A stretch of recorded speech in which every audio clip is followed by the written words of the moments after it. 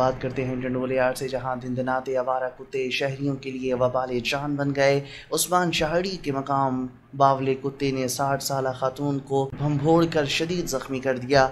साठ साल खातून को शदीद ज़ख्मी कर दिया। साठ साल खातून हुसना बीबी को ज़ख्मी हालत में सिविल हॉस्पिटल मुंतकिल कर दिया। इंतज़ामिया की मुजरमाना गफलत, सिविल हॉस्पिटल में मौजूद डॉक्टर खातून को देखने को तैयार नहीं है।